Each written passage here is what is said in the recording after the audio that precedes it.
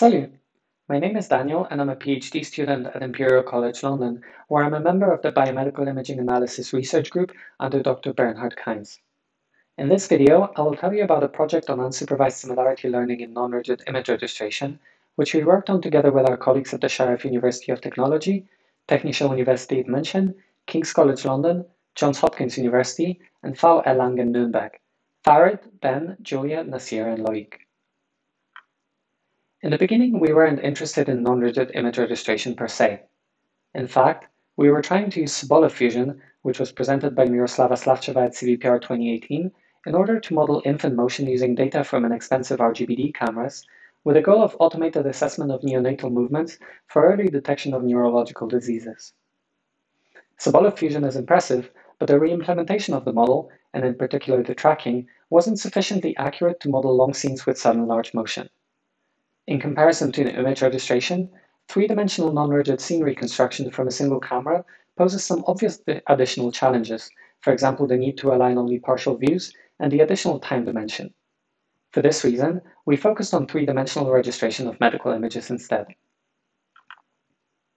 The goal of the project was to improve accuracy. Neural networks have been very successful in image registration tasks, but until not too long ago, their main advantage was speed, which is an order of magnitude faster compared to traditional methods based on iterative optimization. Recent work on hyperparameter learning presented at IPMI 2021 by Tony Mok and at MICCAI 2021 by Andrew Hoopes made use of deep learning differently for efficient hyperparameter search, and we did something similar.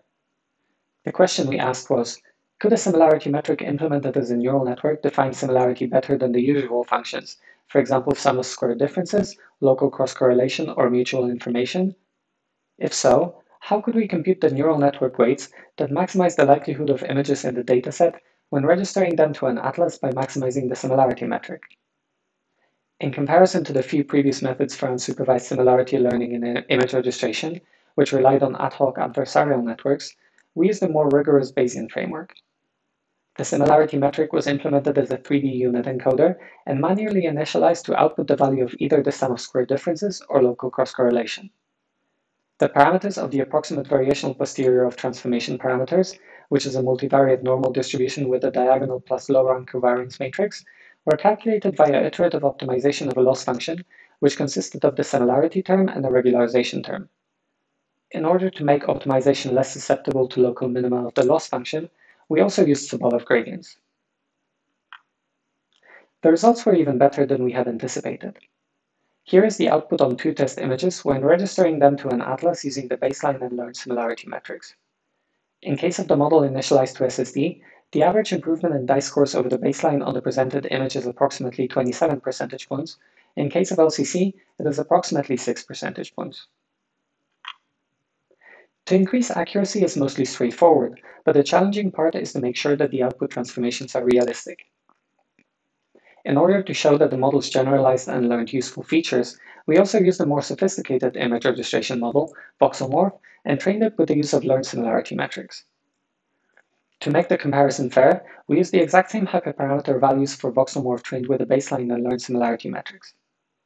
In case of VoxelMorph plus SSD, the average improvement in dice scores over the baseline on the test image shown on the slide was approximately 25 percentage points, and in case of LCC, it was approximately 12 percentage points. We compared image registration based on an iterative optimization method using the baseline and learned similarity metrics on 300 test images, and based on VoxelMorph trained with the baseline and learned similarity metrics on 2,679 images. The improvement was statistically significant in terms of average surface distances for 12 out of 15 subcortical structures in case of SSD, 10 in case of LCC, 10 in case of voxelmorph trained with SSD, and 14 for voxelmorph trained with LCC. And in terms of dice scores for 13 out of 15 subcortical structures in case of SSD, 11 out of 15 in case of LCC, 10 in case of voxelmorph trained with SSD, and 15 in case of voxelmorph trained with LCC. If you would like to know more, please visit the project GitHub page, which includes the source code and pre-trained models. Before I finish, I would like to thank my co-authors Farid, Ben, Julia, Nasir, Bernhard, and Loic. We are also grateful to CVPR organizers for the opportunity to present our work. Thank you for your attention.